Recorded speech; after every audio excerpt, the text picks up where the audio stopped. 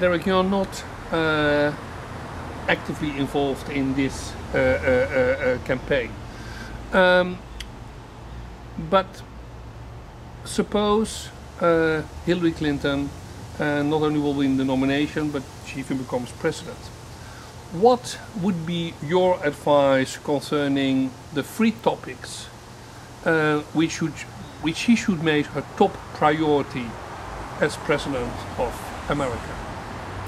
Well, she absolutely has to as president because she will be commander in chief.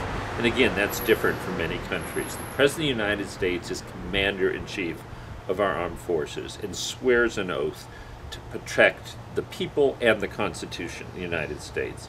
So she will have to deal with terrorism and with groups like ISIS. I mean, that just comes with the job.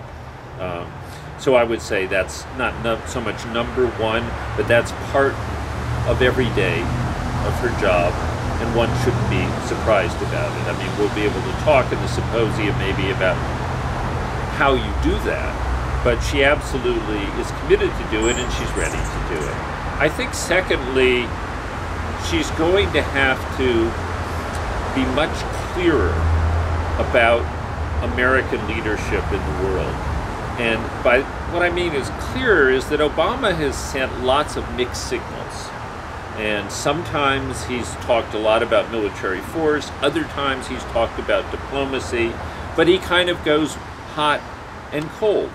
And sometimes he seems like he wants to intervene in countries, other times he doesn't. It's it's very I think there's not really an Obama doctrine other than what he said, don't do stupid things. But of course, why should any president of the United States do stupid things? People are going to look to the United States for leadership on a number of issues, and obvious ones, climate change, but we can come back to others.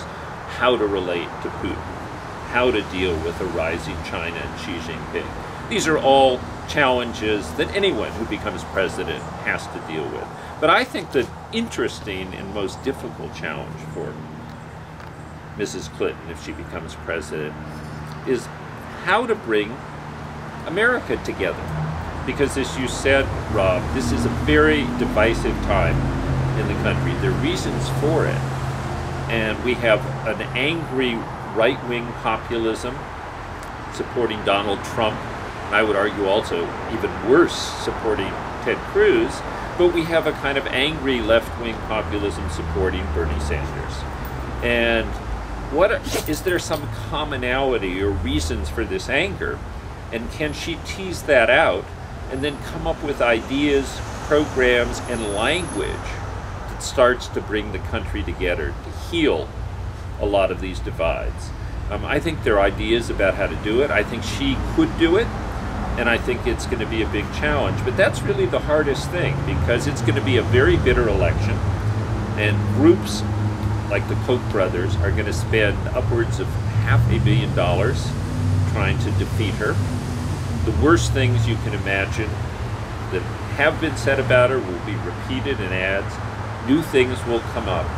And at the end of it, a lot of people are going to be even more bitter and angry. How does she deal with that as president?